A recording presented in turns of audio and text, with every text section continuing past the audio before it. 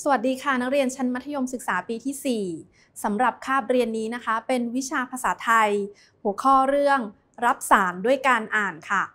นักเรียนคะทุกวันนี้นักเรียนได้อ่านเรื่องราวต่างๆนะคะ อยู่เสมออยู่แล้วนะคะ ไม่ว่าจะเป็นหนังสือเรียน หรือว่าหนังสืออ่านเล่น หรือแม้กระทั่งเวลาที่นักเรียนนั้น เล่นอินเทอร์เน็ตก็จะได้อ่านข้อมูลข่าวสารอยู่ตลอดเวลานะคะ วันนี้ครูจะพูดถึงการอ่านทั้งหมด 4 หัวข้อนั่นก็คือ 1. การอ่านเก็บความรู้นะคะ 2. คือการอ่านเอาเรื่อง 3. คือการอ่านวิเคราะห์ และก็ 4 คือการอ่านตีความนะคะ ลองมาดูทีละเรื่องพร้อม ๆ กันนะคะ การอ่านเก็บความรู้มีลักษณะอย่างไรนะคะ การอ่านเก็บความรู้นั้นเป็นวิธีธรรมชาติ ปกติเวลาที่เรานั้นได้อ่านสิ่งที่เขียนเรียบเรียงไประยะหนึ่งนะคะ ไม่ว่าจะเป็น 200คำหรือว่า 20 บรรทัดเนี่ย เราก็จะได้รับความรู้ใหม่จากสิ่งนั้นไปโดยที่ไม่รู้ตัวนะคะ นี่คือการที่เราได้ความรู้ไปโดยธรรมชาตินะคะทีนี้การอ่านเก็บความรู้ค่ะ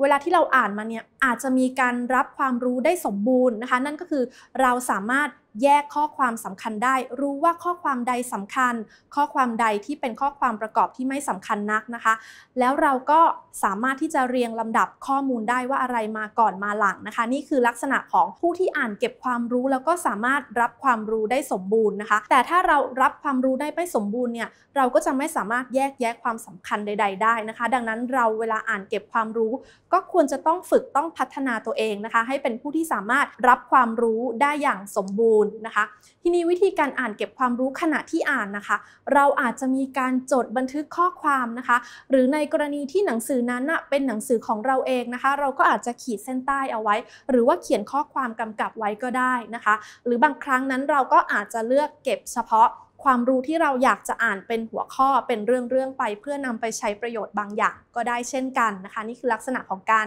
อ่านเก็บความรู้นะคะ เดี๋ยวเราลองมา อ่านเก็บความรู้เรื่องนี้พร้อมกันค่ะ เรื่องความรู้เกี่ยวกับ DDT นะคะ อยากให้นักเรียนลองอ่านไปด้วยกัน แล้วก็เขียนแสดงความรู้ที่ตัวเองได้รับเป็นข้อๆลงในกระดาษนะคะลองเตรียมกระดาษแล้วก็ปากกาขึ้นมานะคะ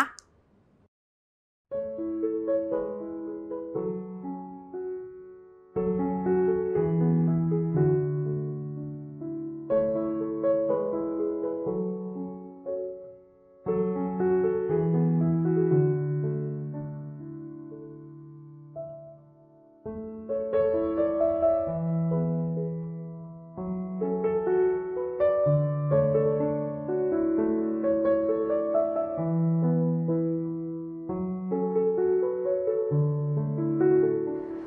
นะคะว่านักเรียนได้อ่านเก็บความรู้อะไรไปบ้างนะคะ อ่านแล้วได้รู้อะไรบ้างค่ะ ความรู้เกี่ยวกับ DDT ถ้านักเรียนลองพิจารณาประโยคที่อยู่ในบทอ่านนี้แล้วเนี่ยจะเห็นว่าประโยคแรกขึ้นต้นมาว่า DDT เป็นพิษร้ายแรงต่อสัตว์จำพวกแมลงที่เป็นตัวสีแดงนี้นะคะทำให้เราเห็นว่า ความสำคัญเนี่ยคือพูดถึงพิษนะคะที่ร้ายแรงของ DDT นะคะที่มีต่อพวกแมลงทั้งหลายนะคะ และเมื่อเราอ่านต่อไปค่ะ ประโยคต่อไปเมื่อแมลงถูก DDT เข้าจะตายทันทีอันนี้เป็นส่วนขยายนะคะ ประโยคที่เป็นใจความสำคัญข้างต้นนะคะ นักเรียนก็ลองอ่านลงมาถึงบรรทัดที่ 3 จะเห็นว่า ดังนั้นจึงนิยมใช้ DDT เพื่อกำจัดยุงเลือดไรแมลงวันนะคะ อันนี้ก็เป็นการขยายความประโยคใจความสำคัญเช่นเดียวกันนะคะ ว่าเมื่อมันเป็นพิษร้ายแรงแล้วเนี่ยเราก็นำไปใช้กำจัดพวกศัตรูพืชต่างๆนะคะ นี่คือประเด็นที่ 1 ประเด็นที่ 2 นักเรียนจะเห็นข้อความที่เป็นตัวอักษรสีเขียวนะคะ เรานำ DDT มาใช้ได้หลายวิธีนะคะ เช่น ผสมให้เป็นผงละลายในน้ำมันก๊าซนะคะ อย่างนี้เป็นต้นอันนี้คือวิธีการที่เรานำ DDT ไปใช้ก็เป็นประเด็นที่2นะคะประเด็นแรกพูดถึงพิษนะคะของ DDT ประเด็นที่ 2 พูดถึงการนำ DDT ไปใช้นะคะ และข้อความที่เป็นตัวสีม่วง DDT เป็นสารที่ไม่ละลายในน้ำและอยู่ตัวไม่สลายง่าย ๆ อันนี้พูดถึงอะไรคะ พูดถึงคุณสมบัติของ DDT นะคะ นี่ก็เป็นประเด็นที่ 3 ที่บทอ่านนี้พูดถึงนะคะ ในย่อหน้าต่อไปเนี่ยบอกว่า DDT เป็นพิษแก่คนและสัตว์อยู่บ้างในกรณีที่กินเข้าไป อันนี้ก็พูดถึงโทษของ DDT ที่เป็นพิษต่อมนุษย์และสัตว์ต่อสิ่งมีชีวิตนั่นเองนะคะ นี่ก็เป็นอีกประเด็นหนึ่งเช่นเดียวกันนะคะ บทอ่านนี้นั้นนำมาจากสารานุกรมไทยฉบับราชบัณฑิตยสถานเล่ม 12 นะคะ นักเรียนก็สามารถไปศึกษาเพิ่มเติมได้ค่ะ เมื่อเราลองประมวลมาแล้วนะคะ จะเห็นว่าข้อความที่แสดงความรู้ที่ได้รับจากเรื่องความรู้เกี่ยวกับ DDT นั้นก็อาจจะเขียนมาได้ในลักษณะนี้ นักเรียนลองอ่านแล้วได้แบบนี้หรือเปล่าคะ DDT เป็นสารพิษสำหรับฆ่ามแมลง เช่น ยุงเลือดไรอันเป็นศัตรูของมนุษย์ สัตว์และพืช DDT อาจอยู่ในรูปของผงสำหรับใช้โรย ในรูปสารละลายเพื่อใช้ฉีดหรือทา DDT สลายตัวยากและไม่ละลายในน้ำฤทธิ์ของ DDT คงสภาพอยู่เป็นเวลานาน และอีกประเด็นหนึ่งคือ DDT เป็นพิษแก่คนและสัตว์ เมื่อกินเข้าไป หรือว่าดูดซึมเข้าสู่ร่างกายเป็นจำนวนมากนะคะ นี่คือ 4 ประเด็นเป็นตัวอย่างของการอ่านเก็บความรู้นะคะ อ่านเก็บความรู้ไปแล้วต่อมาเราจะต้องอ่านไปอีกหนึ่งระดับ นั่นก็คือการอ่านเอาเรื่องนะคะ การอ่านเอาเรื่องมีลักษณะอย่างไร ถ้าหากว่าเราต้องการทราบเรื่องราวที่ผู้เขียนนั้นนำเสนอไว้ในบทอ่านนะคะ ในระหว่างอ่านเนี่ยเราจะต้องติดตามเรื่องราวนั้นให้ได้ต่อเนื่องกันไป จึงจะสามารถอ่านรู้เรื่องได้โดยตลอดนะคะ เรื่องที่อ่านนั้นอาจจะเป็นเรื่องราวของบุคคลค่ะ ว่าทำอะไรอย่างไรที่ไหนเมื่อไรด้วยเหตุผลอะไรนะคะ อาจจะเป็นเรื่องของคน หรือ เป็นเรื่องนิทานนะคะที่มีตัวละครเพียงหนึ่งตัวหรือมากกว่านั้นก็ได้นะคะ หรือว่าเป็นเรื่องเล่าจากประสบการณ์ตรงของผู้เขียนนะคะ นี่คือลักษณะเวลาที่เราอ่านเอาเรื่องก็จะใช้กับบทอ่านประเภทนี้นะคะลักษณะของเรื่องที่อ่านอย่างที่บอกค่ะ อาจจะเป็นเรื่องราวของบุคคลนะคะ เป็นเรื่องนิทานนะคะ เป็นเรื่องเล่าจากประสบการณ์ตรงของผู้เขียนนะคะ หรือว่าเป็นเรื่องเล่านะคะที่ผู้เขียนได้ยินมาแล้วก็นำมาเรียบเรียงใหม่นั่นเองนะคะ ทีนี้ระหว่างที่นักเรียนอ่านเอาเรื่องนะคะ ขอให้ตั้งคำถามเหล่านี้เป็นแนวทางในการอ่านเอาไว้ในใจเลยนะคะคำถามเหล่านี้นั่นก็คือ 1. ใคร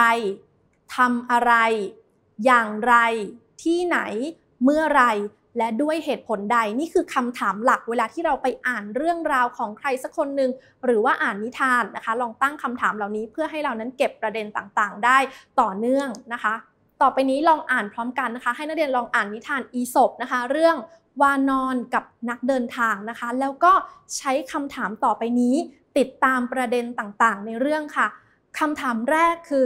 ตัวละครในเรื่องคือใครบ้าง แล้วตัวละครเหล่านั้นน่ะ มีลักษณะนิสัยอย่างไร 2. คือตัวละครแต่ละตัวได้กระทำสิ่งใดลงไปบ้าง และ 3. การกระทำนั้นๆ ของตัวละครนั้นก่อให้เกิดผลอย่างไรตามมานะคะ 3คำถามนี้นักเรียนลองคิดตามไปด้วยระหว่างที่อ่านนะคะ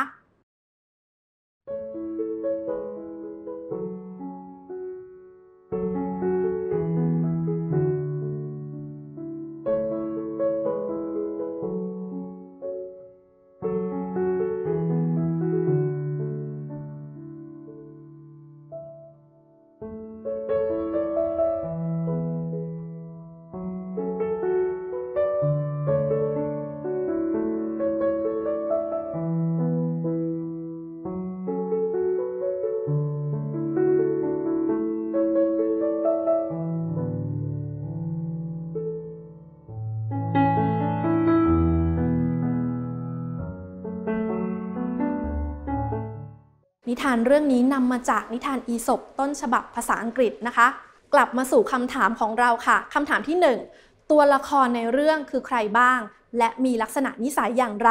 ตัวละครหลักในเรื่องนะคะ นักเรียนจะเห็นว่ามีนักเดินทางชายคนที่1นนะคะ เป็นคนที่ไม่เคยพูดจริง เป็นคนที่โกหกอยู่ตลอดนะคะ พูดปดอยู่ตลอด และนักเดินทางชายคนที่ 2 นั้น ไม่เคยพูดปดก็คือสิ่งที่พูดมานั้นมีแต่ความจริงนะคะ และตัวละครตัวที่ 3 ตัวละครหลักนั่นก็คือพยาวานอนนะคะ เป็นคนที่ช่างโอ้อวดนะคะ หลงตัวเองนะคะ ชอบให้คนยกยอปอปั้นวางอำนาจนะคะ นี่คือตัวละครหลัก 3 ตัวนี้ถามว่าแล้วตัวละครเหล่านี้ได้กระทำสิ่งใดบ้าง แล้วส่งผลให้เกิดอะไรตามมานะคะ ถ้านักเรียนดูการกระทำของชายคนที่1นนะคะ ชายคนที่ 1 นั้นนะ่ะพูดปดเยินยอพยาวานอนว่าเป็นราชาผู้สง่างามมีบริวารที่สูงสักผลคือ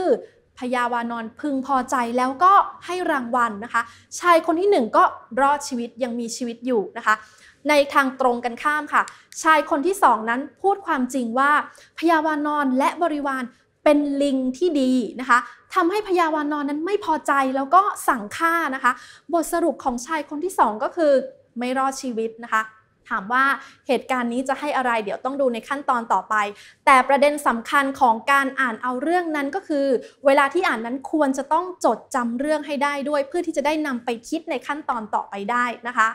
ทีนี้มาสู่ขั้นตอนของการอ่านนะคะ ประเด็นที่ 3 นั่นก็คือการอ่านวิเคราะห์นะคะ การอ่านวิเคราะห์มีลักษณะอย่างไรคำว่าวิเคราะห์นั้นหมายถึงการแยกแยะออกเป็นส่วนๆเพื่อทำความเข้าใจ แล้วก็มองเห็นลักษณะความสัมพันธ์นะคะ ระหว่างส่วนต่างๆ ที่มาประกอบกันนั้นนะคะ นี่คือความหมายของคำว่าวิเคราะห์นะคะ ดังนั้นการอ่านวิเคราะห์เนี่ย จะต้องอาศัยการอ่านเอาเรื่องนะคะเป็นพื้นฐานแล้วก็ใช้ความคิดต่อขึ้นไป ความคิดในระดับที่สูงขึ้นไปอีกขั้นหนึ่งนะคะ ในการที่จะแยกให้ได้ว่าเรื่องที่เราอ่านมาเมื่อครู่นี้เนี่ยแบ่งออกเป็นส่วนๆได้อย่างไรนะคะ แล้วก็คิดพิจารณาหาความเกี่ยวข้องความสัมพันธ์กันระหว่างส่วนต่างๆ เหล่านั้นนะคะ ดังนั้นเมื่อเราอ่านวิเคราะห์ นักเรียนควรจะต้องเพิ่มคำถามต่อไปนี้ลงไปด้วยนะคะ นั่นก็คือถ้าอ่านเอาเรื่องเราถามเพียงแค่ว่า ใครทำอะไรที่ไหนเมื่อไรอย่างไร ถ้าเป็นการอ่านวิเคราะห์เราต้องเพิ่มคำถามว่าทำไม เพราะเหตุใดส่งผลให้เป็นอย่างไร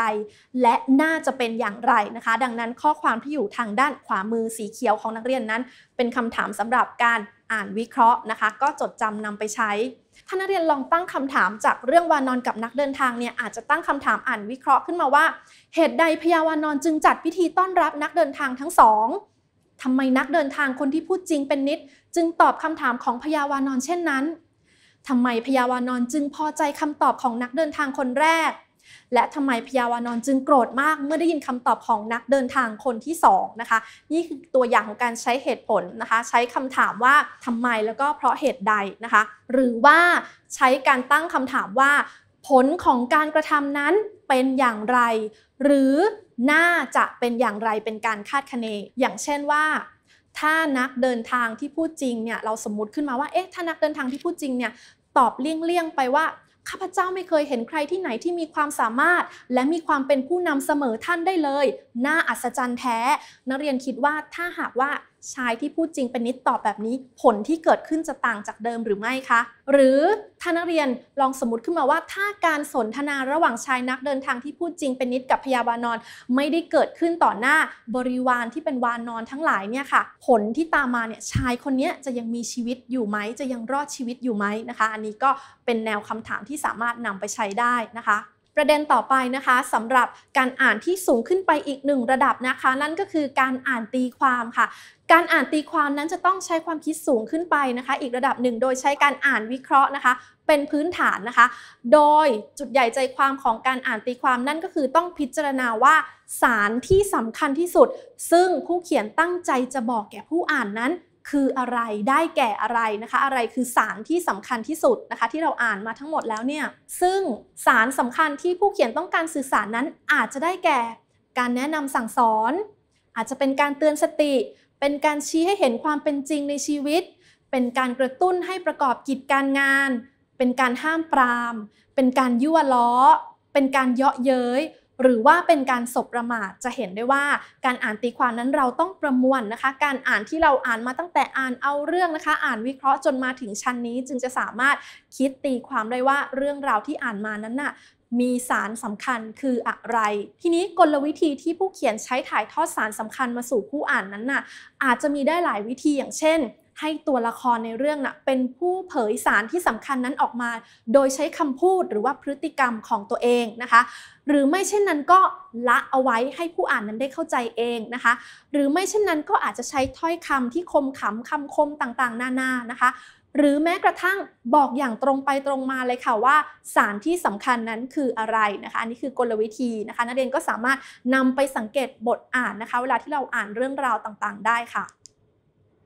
ถ้านักเรียนพิจารณาเรื่องวานอนกับนักเดินทางจะเห็นว่า ถ้าเราอ่านเอาเรื่องนะคะ เราจะใช้คำถามว่าใครทำอะไรอย่างไรที่ไหนเมื่อไรนะคะ แต่เมื่อเราอ่านวิเคราะห์เราจะเพิ่มเข้าไปว่าทำไม เพราะเหตุใดผลเป็นอย่างไร และถ้าหากเป็นอย่างนั้นอย่างนี้แล้วจะเกิดอะไรขึ้นนะคะ และเมื่อเป็นการอ่านตีความนั้น เราจะมาพิจารณาว่าสารที่สำคัญนั้น คืออะไรนะคะ ทีนี้การอ่านตีความนิทานอีศบเรื่องวานอนกับนักเดินทางเนี่ยอาจจะตีความได้แบบนี้นะคะ อันนี้เป็นตัวอย่างแนวทางที่ 1 อาจจะตีความได้ว่า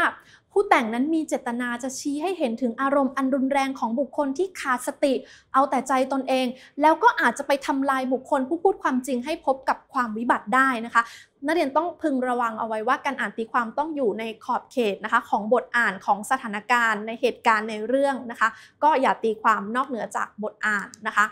หรือแนวทางที่ 2 อาจจะตีความไปว่า การพูดจริงนั้นจะเกิดประโยชน์ เมื่อพูดได้ถูกต้องตามกาลเทศะบุคคลและประชุมชนนะคะ ก็อาจจะตีความได้ตามนี้จากเหตุการณ์ที่ชายผู้พูดจริงนั้นนะไม่รอดชีวิตนะคะ แสดงว่าอาจจะพูดเนี่ยผิดกาลเทศะทำให้ตัวเองนั้นไม่รอดนะคะ ทีนี้ถ้าถามว่าแล้วถ้าตีความแบบนี้ได้หรือไม่ ความโลภทำให้บุคคลพบความวิบัติ นักเรียนลองคิดดูนะคะ ถามว่าใช้กับนิทานเรื่องนี้ได้ไหม ค่อนข้างแคบเกินไปใช่ไหมคะ เพราะว่ามีส่วนสำคัญอื่น ๆ ในบทอ่านอีกนะคะ ไม่ใช่แค่เรื่องความโลภอย่างเดียวนะคะ เพราะว่านักเดินทางเนี่ยก็มีเหตุผลอื่น คือประกอบกับนิสัยของตัวเองด้วยนะคะ ที่เป็นคนพูดจริงพูดปดอะไรต่างๆ นานา ดังนั้นการจะตีความเอาแค่เรื่องความโลภทำให้บุคคลนั้นพบกับความวิบัตินั้นก็เป็นการตีความที่แคบเกินไปนะคะ หรือถ้าตีความว่าคนถึงที่ตายก็ต้องตาย ยังไงไม่อาจจะหลีกเลี่ยงไปได้เนี่ย อันนี้ถามว่าเป็นการตีความยังไงคะ เป็นการตีความที่กว้างไกลเกินเรื่องราวออกไปนะคะ ไม่ได้เกี่ยวข้องกับสารสำคัญนะคะ ที่ผู้เขียนต้องการจะสื่อให้เห็นจากอุทาหรณ์ของนิทานเรื่องนี้นะคะ หรือถ้าตีความว่าคนพูดปดได้รับผลดี คนพูดจริงได้รับผลร้ายโอ้โห อันนี้ยิ่งรู้สึกว่าเป็นการตีความอย่างฝืนคติธรรมดานะคะ ผิดทั้งทางโลกและทางธรรมคือกลายเป็นว่าคนพูดปดได้รับผลดีไป การตีความเช่นนี้ก็ไม่ถือว่าถูกต้อง ดังนั้นเวลาที่นักเรียนอ่านตีความก็ต้องคำนึงถึงกรอบแนวทางที่เราจะตีความให้ได้ตรงประเด็นด้วยเช่นเดียวกันนะคะค่ะและสำหรับวันนี้นะคะ นักเรียนก็ได้เรียนรู้เรื่องการรับสารด้วยการอ่านนะคะ ไม่ว่าจะเป็น การอ่านเก็บความรู้นะคะ การอ่านเอาเรื่องนะคะ การอ่านวิเคราะห์และการอ่านตีความ ซึ่งครูก็หวังว่านักเรียนจะได้นำแนวทางในการตั้งคำถามสำหรับการอ่านในแต่ละระดับนั้นไปใช้จริงนะคะ เพื่อให้เกิดผลสำฤทธิ์นะคะ ในการอ่านของนักเรียนในที่สุดค่ะ กิจกรรมเพื่อการเรียนรู้ 1. เลือกอ่านบทความทางสื่ออิเล็กทรอนิกส์หนึ่งบทความ แล้วบันทึกความรู้ที่ได้รับจากการอ่านเป็นข้อๆลงในกระดาษ 2. เลือกนิทานที่นักเรียนได้ยินได้ฟังตั้งแต่เด็กมาหนึ่งเรื่อง เช่น ราชสีห์กับหนู เทพารักษ์กับคนตัดไม้ วิเคราะห์และตีความนิทานเรื่องนั้น และสำหรับวันนี้นะคะ สวัสดีค่ะ ผลิตรายการโดย สำนักงานคณะกรรมการการศึกษาขั้นพื้นฐาน